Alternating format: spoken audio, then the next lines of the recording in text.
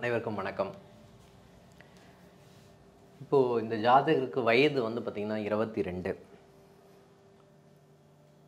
இவருக்கு வந்து இப்போ வந்து ஜென்ம லக்னம் அப்படின்றது தனுசு லக்னம். இவருக்கு திருமணம் சம்பந்தப்பட்ட விஷயங்கள் சாதகமாக இருக்குமா? பொருளாதாரம் சம்பந்தப்பட்ட விஷயங்கள் சாதகமாக இருக்குமா? இவருடைய ஜாதகர் வந்து பெண். ஓகேங்களா? திருமணம் பண்ணலாமா? ஃபஸ்ட்டு இல்லைன்னா இவருடைய ஃபோக்கஸ் எதில் இருக்கும்? இவருடைய எண்ணங்கள் எதில் இருக்கும்? அப்படின்ற விஷயங்கள் எல்லாமே வந்து பார்த்திங்கன்னா நீங்கள் அக்ஷய லக்ன பద్ధதி முறையில் பார்த்தா தான் உங்களுக்கு தெரியும் அப்படின்னு சொல்லலாம். வாழ்க்கையில் திருமணம் முக்கியமா? இல்லை பொருளாதாரம் முக்கியமா? இவங்க வந்து ஒரு மிடில் கிளாஸ் பொருளாதாரம் முக்கியமா? அப்படின்ற எண்ணங்கள் வந்து தலை தூக்கக்கூடிய ஒரு விஷயமாக இந்த ஜாதகம் வந்து புலப்படும்னு சொல்லலாம். வாழ்க்கையில் வந்து எது முக்கியம்? எந்த டைமில் எது பண்ணால் கரெக்டாக இருக்கும்? அப்படின்றது ரொம்ப முக்கியமான விஷயம்.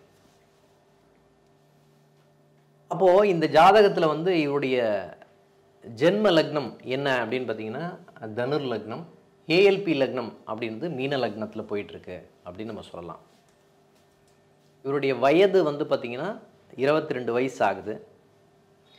இப்போ புரட்டாதி நட்சத்திரம் நான்காம் பாதத்தில் போயிட்டுருக்கு. ஏஎல்பி லக்னம் புரட்டாதி நட்சத்திரம் நான்காம் பாதம். பூரட்டாதி நட்சத்திராதிபதி யார் அப்படின்னு பார்த்தீங்கன்னா குரு குரு வந்து எங்கே இருக்கார்? இரண்டாம் இடத்துல இருக்கார். இந்த ஏஎல்பி லக்னாதிபதி யார்? குரு. அவரும் பத்தாம் இடத்துக்குரியனும் அவர் தான் இவருடைய எண்ணங்கள் எல்லாமே வந்து பார்த்திங்கன்னா பொருளாதாரம் சம்பந்தப்பட்ட சிந்தனை. நான் வந்து சம்பாதிக்கணும் நான் ஏர்ன் பண்ணணும் நான் நிறைய சம்பாதிக்கணும். என்னுடைய எண்ணங்கள் எல்லாமே வந்து பார்த்திங்கன்னா பணம் தான் முக்கியம். வாழ்க்கையில் மிச்சம்லாம் அப்புறம்தான். ஏன்னா மிடில் கிளாஸில் ரொம்ப கஷ்டப்பட்டு ஒரு ஒரு ஃபேமிலி டெவலப் ஆகும்போது ஃபஸ்ட்டு அவங்களுடைய எண்ணங்கள் வந்து அதில் பிரதிபலிக்குதுன்னு சொல்லலாம். எனக்கு சம்பாத்தியம் முக்கியம். ஏன்னா இந்த ஏஎல்பி லக்னத்துக்கு ரெண்டாம் இடத்துல குரு. அவர் வந்து பத்தாம் இடத்துக்குரியவன் ஓகேங்களா? லக்னாதிபதியும் அவர் தான் பத்தாம் இடத்துக்குரியவன் அவர் தான் அப்போது என்னுடைய எண்ணங்கள் எல்லாமே வந்து பார்த்திங்கன்னா சம்பாத்தியம் தான் எனக்கு முக்கியம். முக்கியமான குறிக்கோள் வந்து சம்பாத்தியம் தான். இந்த மாதிரி எண்ணங்கள் வந்து ஜாதகருக்கு அதிகமாக இருக்கக்கூடிய விஷயங்கள் வந்து நம்ம சொன்னோம். இது. அப்போ இந்த டைமில் வந்து திருமணம் பண்ணலாமா? அப்படின்ற ஒரு கேள்வி வந்து அவர் வீட்டில் இருந்து வந்தது அப்படின்னு சொல்லலாம். இந்த கேள்விக்கு தகுந்த மாதிரி இப்போ வந்து ஏதாவது நடக்குதா அப்படின்னு பார்த்தீங்கன்னா இப்போ வந்து அவங்களுக்கு தசை வந்து பார்த்திங்கன்னா புதன் தசை சனி புக்தி. புதன் தசை சனி புக்தி அப்படின்னு வரும்போது புதன் வந்து யாருன்னு பார்த்தீங்கன்னா இப்போ ஜென்ம லக்னத்திலிருந்தே பார்ப்போம். ஜென்ம லக்னத்துக்கு ஏழாம் இடத்துக்குரியவன். இப்போ ஏஎல்பி லக்னத்துக்கு ஏழாம் இடத்துக்குரியவன் புதன் தான்.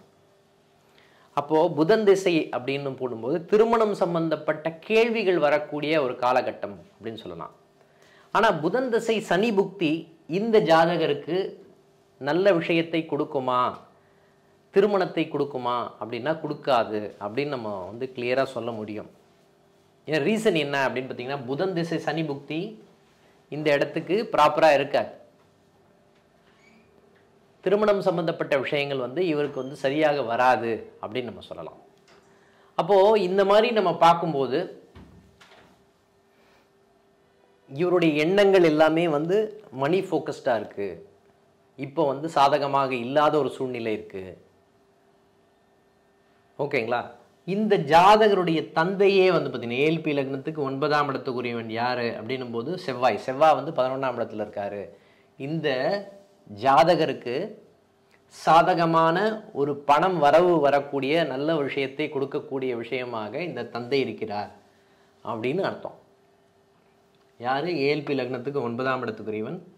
ஓகேங்களா? லாபத்தை கொடுக்கக்கூடிய இந்த ஜாதகருக்கு வந்து தொழில் பண்ணுவதற்கு உண்டான எல்லா விஷயத்தையும் வந்து பார்த்திங்கன்னா இந்த ஜாதகருடைய தந்தை வந்து பண்ணி கொடுக்குறாரு அப்படின்னு நம்ம சொல்லலாம்.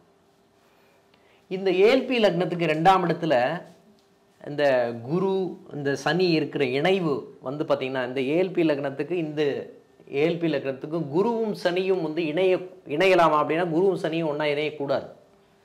இந்த குரு சனி இங்கே இணைவு இருந்தது அப்படின்னாவே பொருளாதார பொருளாதாரம் சம்பந்தப்பட்ட சிந்தனை அப்படின்ற மாதிரி வந்துடும் பொருளாதாரம் சம்பந்தப்பட்ட சிந்தனை அப்படின்ன மாதிரி வரும். இந்த குரு சனி இரண்டாம் இடத்துல இணையிறது வந்து பார்த்திங்கன்னா இந்த ஏழாம் இடத்துக்கு எட்டாம் இடமாக இருக்கிற விஷயங்கள் வந்து பார்த்திங்கன்னா இவருடைய ஃபோக்கஸ் எல்லாமே வந்து பணம் பொருளாதாரம் மட்டும்தான் இருக்குமே தவிர அதற்கு மேலே வந்து இவருக்கு சிந்தனை வந்து பார்த்திங்கன்னா திருமணம் சம்பந்தப்பட்ட உறவுகளில் இருக்காது அப்படின்னு நம்ம சொல்லலாம். ஆணித்தரமாக சொல்ல முடியும். ஏன்னா ஏஎல்பி லக்ன நட்சத்திர புள்ளிநாதன் பூரட்டாதி நட்சத்திரம். பூரட்டாதி நட்சத்திராதிபதி குரு. அதுக்கு அடுத்தது பூரட்டாதி முடிஞ்ச உடனே உத்திரட்டாதி நட்சத்திரம். அவரும் சனி. சனி வந்து ரெண்டாம் இடத்துல இருக்கார். அப்போது ஏழாம் பாவத்துக்கு பார்த்தீங்கன்னா எட்டாம் இடத்துல இருக்கிறதுனால இந்த பணம் சம்பந்தப்பட்ட பொருளாதாரம் சம்பந்தப்பட்ட லாப நோக்கத்து. ஏன்னா ஏஎல்பி லக்னத்துக்கு இந்த சனி வந்து பார்த்தீங்கன்னா லாபாதிபதி லாப விரையாதிபதி. அவர் எங்கே இருக்கார்? ரெண்டாம் இடத்துல இருக்கிற இணைவு. பணம் மட்டுமே இவங்களுடைய குறிக்கோளாக இருக்கக்கூடிய காலகட்டம்னு சொல்லலாம். எல்லா இணைவுகளையும் வைத்து பார்க்கும்போது சில இடத்துல வந்து அவங்க அப்பாவே வந்து பார்த்திங்கன்னா அந்த திருமணத்தை ஸ்டாப் பண்ணியிருக்காரு அப்படின்னு நம்ம சொல்லலாம். ரீசன் என்ன அப்படின்னா ஜாதகருடைய குறிக்கோள் என்ன? பணம் சம்மந்தப்பட்ட மட்டுமே இப்போ வந்து குறிக்கோளாக இருக்கிறது. திருமணம் சம்மந்தப்பட்ட விஷயத்துக்கே அவங்க வரல ஜாதகர். இருபத்தி ரெண்டு வயசு ஆச்சு அப்படின்னு சொன்னால் கூட திருமணம் சம்மந்தப்பட்ட விஷயத்தில் தான் அவருடைய ஃபோக்கஸ் இல்லை அப்படின்றதுல இது வந்து இந்த ஜாதகம் வந்து தெள்ள தெளிவாக சொல்லுது அப்படின்னு நம்ம சொல்லலாம். சரி இந்த மாதிரி ஒரு ஒரு இணைவு இருக்கும்போது இந்த திருமணத்தை நடத்தலாமா அப்படின்னா திருமணத்தை பண்ணக்கூடாது அப்படின்னு சொல்லியிருக்கோம் நம்ம. ரீசன் என்ன அப்படின்னா இந்த மாதிரி திரு இந்த மாதிரி ஒரு இணைவு இருக்கும்போது குடும்பத்தினராலேயே வந்து இந்த ஜாதகத்தை வந்து தடுக்கப்படும்னு சொல்லலாம். இந்த இடத்துல தான் ஒரு குரு தேவை. எந்த இடத்துல திருமணம் நடத்தணும்? எந்த இடத்துல இவங்களுக்கு திருமணம் நடத்தினா சரியாக இருக்கும்? அப்படின்ற விஷயத்துக்காக தான் ஒரு குரு வந்து தேவைப்படுகிறார் அப்படின்னு சொல்லணும். அப்போது நம்ம என்ன சொல்லியிருக்கோம் அப்படின்னு பார்த்தீங்கன்னா இப்போது புரட்டாதி நட்சத்திரம் உத்திரட்டாதி நட்சத்திரம் முடிஞ்ச உடனே இந்த இடத்துல வந்து ரேவதி நட்சத்திரம் ஸ்டார்ட் ஆகும். ரேவதி நட்சத்திராதிபதி யார்? ரேவதி நட்சத்திராதிபதி புதன். புதன் வந்து பார்த்திங்கன்னா ஏழாம் இடத்துக்குரியவன். ஏழாம் இடத்துக்குரியவன் எங்கே இருக்கார்? ஏல்பி லக்னத்துக்கு ஒன்பதாம் இடத்துல இருக்கார். இந்த இடத்துல திருமணம் நடத்தினால் வந்து சிறப்பாக இருக்கும். அவர் யார் கூட சேர்ந்துருக்காருன்னு பாருங்க. புதன் சந்திரன் ஐந்தாம் இடத்துக்குரியவனோட சேர்ந்துருக்காரு. அப்போ இந்த இடத்துல திருமணை நட திருமணம் நடப்பதற்குண்டான சாதகமான நிகழ்வுகள் நடக்கும் அப்படின்னு நம்ம சொல்லலாம். அப்போ பலம் யாருக்கு அப்படின்னு பார்த்தீங்கன்னா புதன் சந்திரனுக்கு பலம் ஜாஸ்தி அப்படின்னு சொல்லலாம். ஓகேங்களா? சூரியனை விட இந்த இடத்துல வந்து புதன் சந்திரனுக்கும் புதனுக்கும் பலம் அதிகம் அப்படின்னு சொல்லலாம். இந்த இடத்துல தான் திருமணம் நடத்துக்கு உண்டான சாத்தியக்கூறுகள் இருக்குது அப்படின்னு நம்ம சொல்லலாம். அப்போது பொருளாதாரம் சம்பந்தப்பட்ட விஷயத்தில் ஒரு கிரகம் வந்து ஆக்டிவேட் ஆகும்போது பொருளாதாரம் சம்பந்தப்பட்ட விஷயத்தை ஃபோக்கஸ் பண்ணுவார் வந்து ஜாதகர் அப்படின்னு அர்த்தம். அப்போது திருமணம் சம்பந்தப்பட்ட விஷயங்களில் அவங்கள ஃபோக்கஸ் பண்ணும்போது திருமணம் சம்பந்தம். இந்த இடத்துல தான் ஒரு குரு வந்து கரெக்டாக வந்து இல்லைங்க இந்த இடத்துல திருமணம் பண்ணால் கொஞ்சம் பிரச்சனைகள் வரும். இவங்களுடைய குடும்பத்தினர் மூலமாகவே இந்த திருமணம் சம்பந்தப்பட்ட விஷயத்தில் பிரச்சனைகள் வரும். இவங்க என்ன பண்ணுவாங்க? குடும்பத்தில் வந்து நிறைய இன்வால்வ் ஆகி என்ன பண்ணுவாங்க? இவங்க நல்லது நல்லது பண்ணணும்னு நினைப்பாங்க.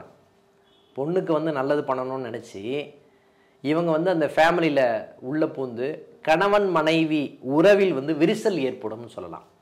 ஒரு திருமண உறவில் வந்து பார்த்திங்கன்னா இந்த மாதிரி இரண்டாம் இடத்துல குரு சனி இணைவு ஏல்பி லக்னத்துக்கு இந்த மீன லக்னத்துக்கு ஏல்பி லக்னத்துக்கு ரெண்டாம் இடத்துல குரு சனி இணைவு அந்தளவுக்கு சாதகமான ஒரு சாத்தியக்கூறுகள் இல்லை அப்படின்னு சொல்லலாம்.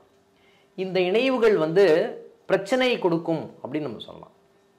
அப்போது இப்போ எப்போ திருமணம் நடக்கும் அப்படின்னு பார்த்தீங்கன்னா கரெக்டாக வந்து ஒரு இந்த பூரட்டாதி நட்சத்திரம் முடிஞ்சு ரெண்டாயிரத்தி இருபத்தி ஏழு வரும்போது ரேவதி நட்சத்திரம் ஒன்றாம் பாதம் வருது ஏல்பி லக்னம். ஓகேங்களா? இப்போ ரெண்டாயிரத்தி இருபத்தி ரெண்டில் இருக்கும். இன்னும் ஐந்து வருஷம் நாலு வருஷம் நாலரை வருஷம் கழித்து இந்த ரேவதி நட்சத்திரம் ஒன்றாம் பாதம் ஏல்பி லக்னம் தொடும்போது இந்த திருமணம் சம்பந்தம் ஏன்னா ரேவதி நட்சத்திராதிபதி யார்? புதன். புதன் வந்து ஏழாம் இடத்துக்குரியவர். அவர் சாதகமாக இருக்கிறார் அப்படின்னு அர்த்தம். அப்போதான் அந்த திருமணம் சம்பந்தப்பட்ட எண்ணங்கள் ஜா வரும் ஜாதகருக்கு. அப்போ தான் அப்பாவின் மூலமாகவே அப்பா ஏழ்பி ஒன்பதாம் இடத்துக்குரியவன் அப்பாவின் மூலமாகவே திருமணம் வந்து அமைக்கப்படும்னு சொல்லலாம் ஓகேங்களா இப்போது எங்கள் இடத்துல இருக்குது அப்பாவினுடைய ஏழ்பி லக்னத்துக்கு ஒன்பதாம் இடத்துல அப்பாவினுடைய இடத்துல அந்த புதன் இருக்குது அப்போது அப்பா வந்து ஏற்பாடு பண்ணுவார் அப்படின்னு அர்த்தம்.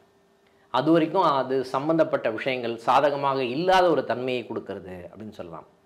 அப்போ ஒரு ஜாதகத்தில் எந்த டைமில் ஏன் பண்ணணும்? எந்த டைமில் திருமணம் பண்ணணும்? எந்த டைமில் திருமணம் பண்ணால் சரியாக இருக்கும்? எந்த டைமில் திருமணம் பண்ணால் அது பிரச்சனையான ஒரு காலகட்டம். ஏன்னா நம்ம வந்து அவங்க பொருளாதார நோக்கத்தோட மட்டுமே இருந்து கொண்டு இருக்கும்போது அந்த இடத்துல நம்ம திருமணம் பண்ணால் இந்த ஜாதகருக்கு சாதகமான அமைப்புகள் வராது அப்படின்னு அர்த்தம்.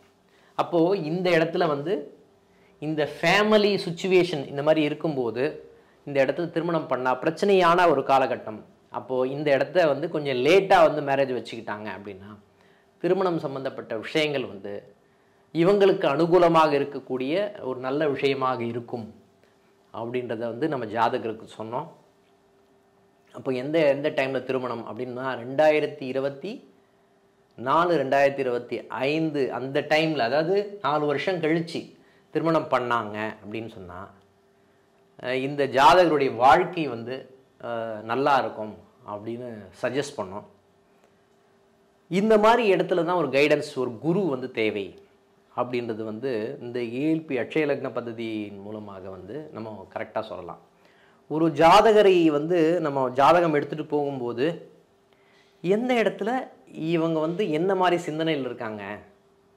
எந்த மாதிரி மனோபாவத்தில் இருக்காங்க? இப்போ பிரச்சனையான ஒரு காலகட்டமாக திருமணம் பண்ணுறதுக்கு சரியான காலகட்டமாக அப்படின்றத நம்ம பார்த்து நம்ம கரெக்டாக சஜஸ்ட் பண்ணோம் அப்படின்னா அந்த டைமில் அவங்க திருமணம் பண்ணாங்க அப்படின்னா அந்த திருமண வாழ்க்கை வந்து நல்லா இருக்கும் அப்படின்றத ஆணித்தரமாக ஒரு அக்ஷய லக்ன பദ്ധதி ஜோதிடர் மூலமாக தெள்ள தெளிவாக சொல்லலாம் அப்படின்றது முக்கியமான விஷயம். பாருங்கள் இந்த புதன் வந்து ஏல்பி லக்னத்துக்கு பாருங்கள் புதன் திசை சனி புக்தி புதன் திசை சனி புக்தி ஆறு எட்டாக இருக்கிறது. இந்த டைமத்தில் திருமணம் நடக்காது. ஆனால் திருமணம் நடக்கணும் அப்படின்னு நம்ம வரி வரும்போது ரெண்டு பேரும் பேசி பார்க்கும்போது ஆக்சுவலாக திருமணம் நடத்துக்குண்டான எந்த விதமான சாத்தியக்கூறுகளும் இல்லை அப்படின்றது முக்கியமான விஷயம். அப்போது சரியான காலத்தில் ஒரு திருமணம் நடக்கும்போது அது சரியான ஒரு பலனை தரும் அப்படின்றதுல எந்த விதமான டவுட்டும் இல்லை. ஸோ இந்த மாதிரி ஒருத்தர் புரிஞ்சு ஒரு திருமணம் சம்மந்தப்பட்ட விஷயத்தில் முடிவு எடுத்தாங்க அப்படின்னா அவங்களுடைய வாழ்க்கை வந்து நல்லாயிருக்கும் அப்படின்றதுல எந்த விதமான சந்தேகமும் இல்லை. நன்றி வணக்கம்.